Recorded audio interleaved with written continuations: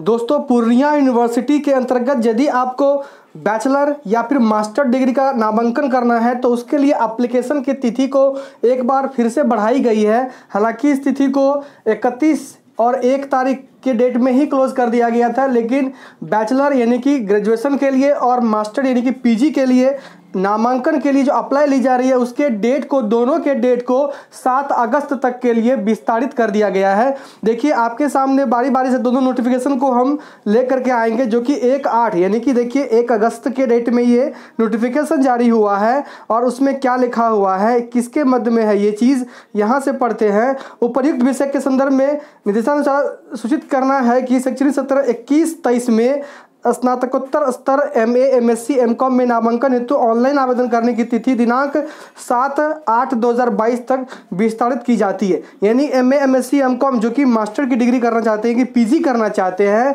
इक्कीस तेईस सत्र ही है।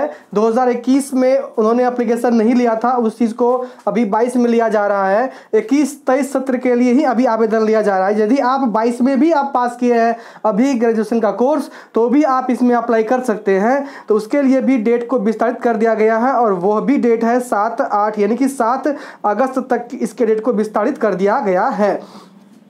ये तो था पीजी के लिए, यदि हम लोग बात करें बैचलर के लिए तो बैचलर का भी बिल्कुल डेट बढ़ाया गया। देखिए, स्पष्ट रूप से इसमें ये नोटिफिकेशन है। इसके बारे में हम आपको बता दे रहे हैं। ये नोटिफिकेशन एक आठ को ये भी जारी किया गया है। और इसमें क्या लिखा गया है? जो भी B A B S C B com B A B S C B com या फिर vocational course B B A B C B C A C N D जो भी कोर्स करना चाहते हैं, उसके लिए भी सात अगस्त तक विस्तारित कर दी जाती है। यानी कि बहुत सारे बंदे पहले से तो कर ही चुके हैं।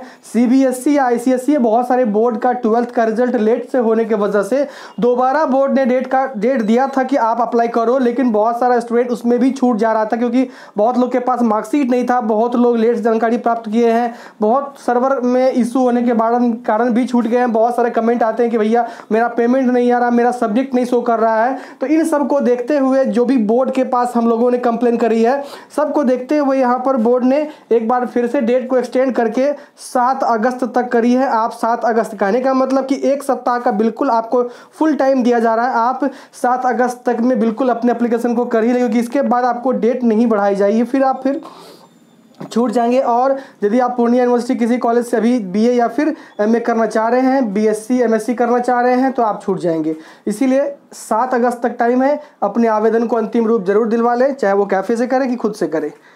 धन्यवाद।